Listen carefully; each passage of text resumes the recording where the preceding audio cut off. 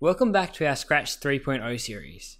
In the last video, we went over the basics of the new Scratch 3.0.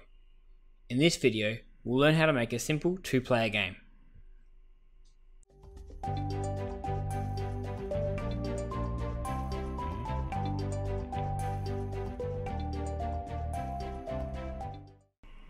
Today we're going to make a two-player game that's somewhat similar to Agar.io. To keep the theme similar, we'll make a new backdrop by clicking the backdrop over here and making a new costume under backdrops. Uh, I'm going to fill it using uh, this gradient and I'm going to choose colors here and uh, maybe a bit more of a blue. I might swap those uh, and my green I think I'll make a bit darker. So I've got a bit more contrast in my colors. Alright, now if I click somewhere in the center, that should make it a roughly circular um, pattern. As long as I'm using the gradient tool, um, I will need to convert to a bitmap to do this though, because vectors don't like it in Scratch. So we'll click here, add that, and now I'm going to go back to a vector because I like working with the vectors um, over bitmaps for Scratch. Now that I've got my backdrop, I'm going to delete my cat because I don't need the scratch cat anymore. What I'm actually going to do here is add in just a simple sprite, which is the ball. My ball is going to be my player one, so I'm going to rename it right now. And we'll make up our player two later on as we move along. First things first, we need some controls for player one.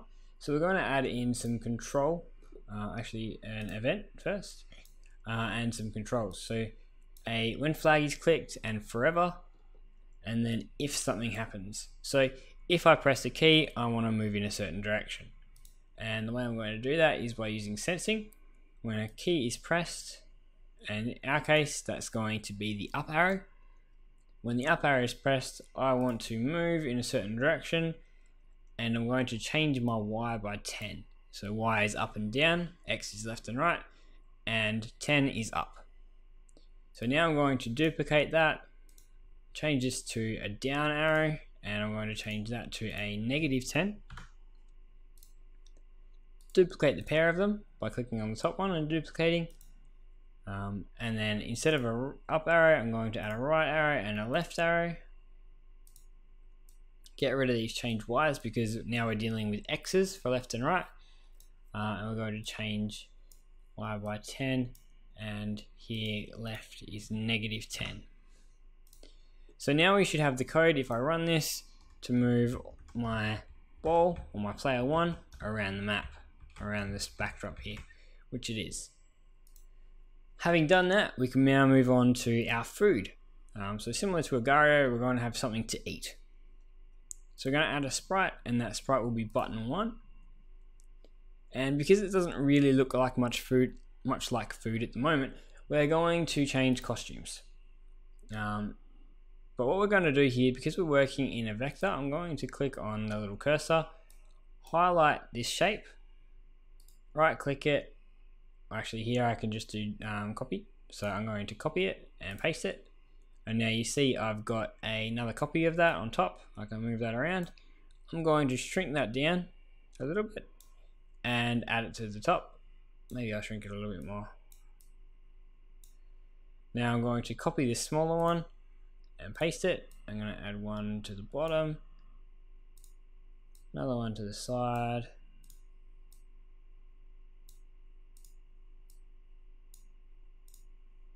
And we'll just add a few more to make it look like we've got uh, something that looks kind of similar to some little food that a little algae type thing might eat. Alright, so there we go. We've got our little food sprite.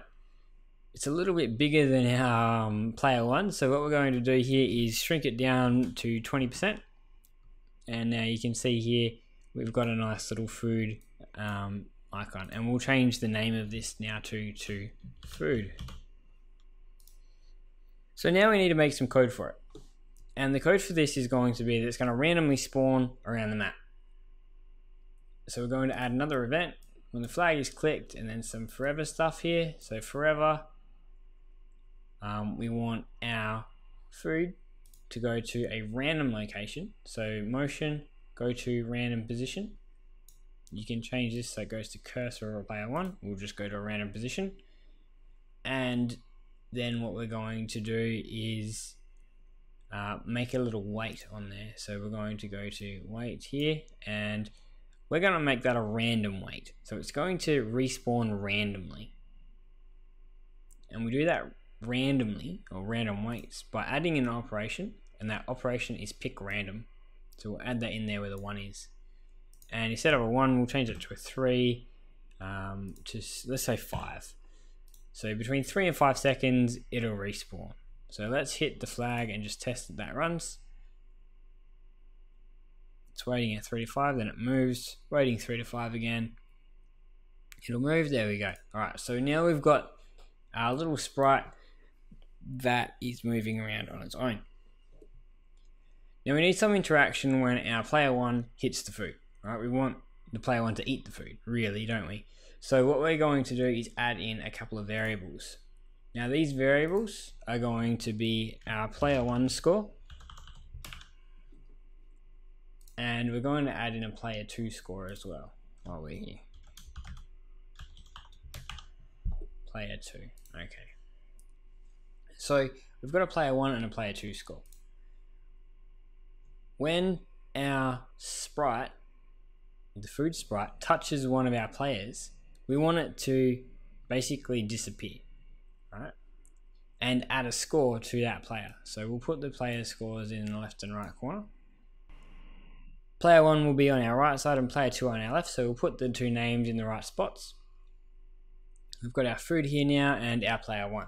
So we're going to add in another event because we need another forever loop.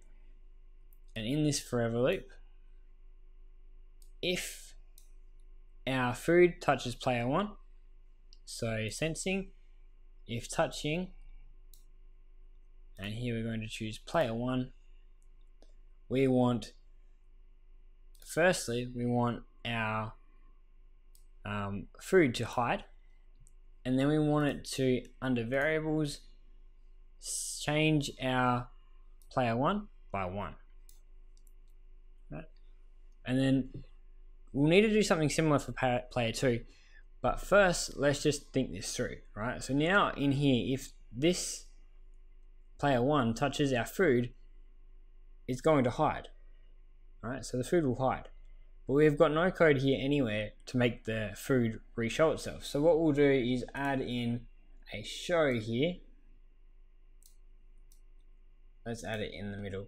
So it'll go to a random position and show, and then wait three to five seconds, and then it'll uh, go to a random position again, which is what we want.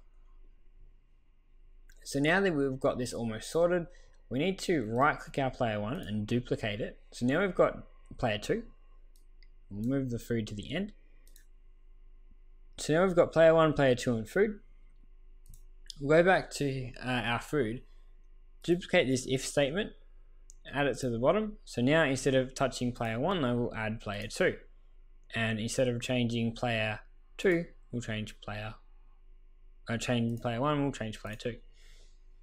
So now we've got a full set of code that will increase the scores invariably. But we don't have anything to set the scores to 0 at the start of the game. We could do that here, uh, but because we're going to end up duplicating our food, uh, that'll just make a bunch of code that'll be uh, a bit of a waste. So if we go back to our player, we're going to add some uh, information here a bit later. So we'll add for now just an event. When this is clicked, we're going to set our variables to zero. So because he's player one, we'll do that. And then we'll drag this into our player two and we'll change player two to zero here. So now I'll hit my flag and I can move these around. Now you'll notice both of my sprites are moving together and that's because I haven't yet changed uh, the code for this sprite. So let's do that now. I need to add some change or make some changes here that change the arrows basically. So instead of using the up arrow, I'm going to use the W key. Instead of the down arrow, I'm going to use the S key. instead of the right arrow, I'm going to use the D key. And instead of my left arrow, I'm going to use my A key.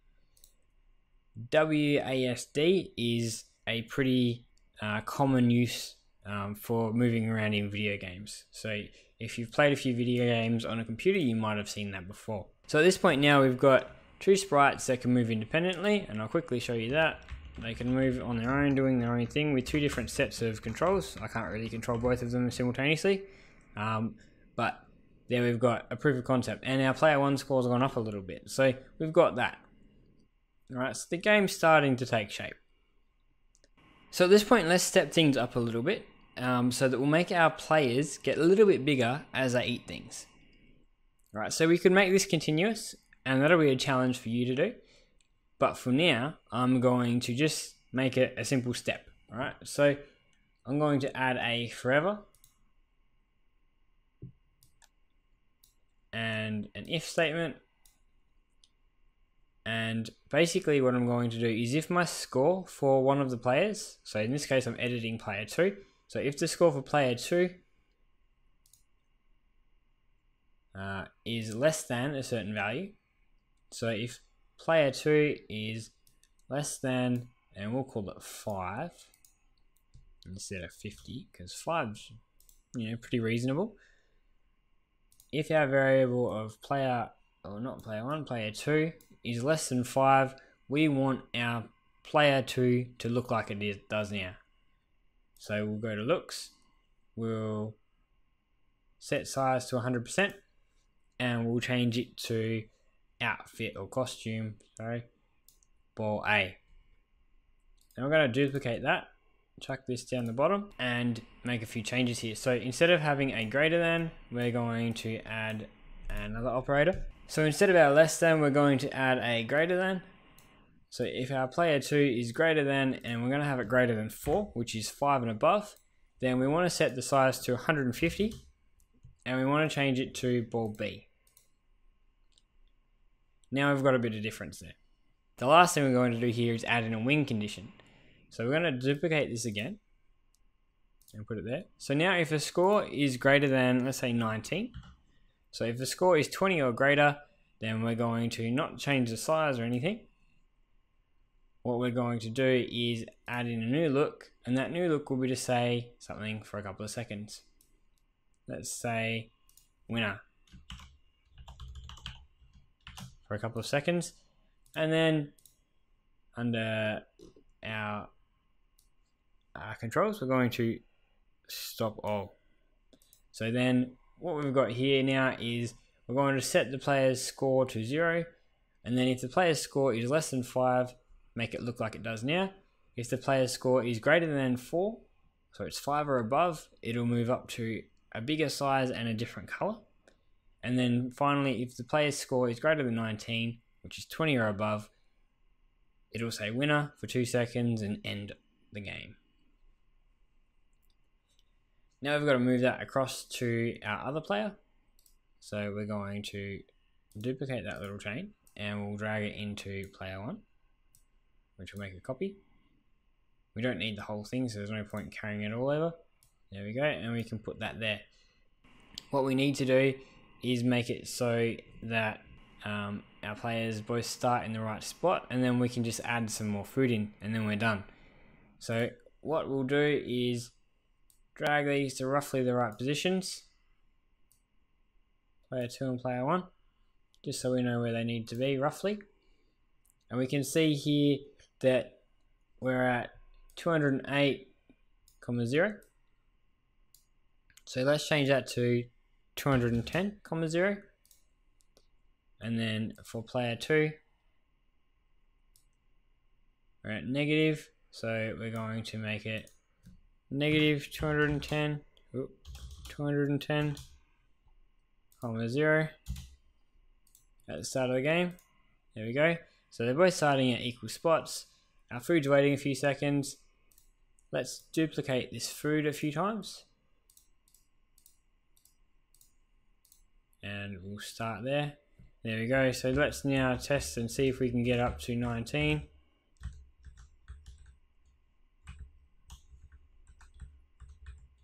And one thing you'll notice here is my player 1 hasn't moved up to the next color. So we'll need to fix that bug really quickly. And it also hasn't ended the score.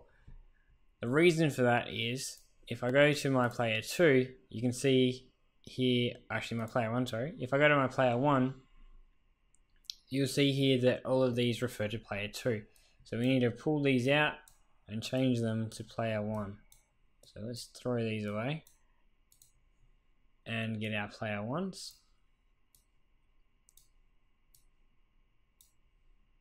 Run our code. There we go. So now if I collect all of these, if I get up to five, there we go. Now I'm bigger. So there we go, we've got a two player game. Uh, hopefully now you can customize it a little bit and make it your own.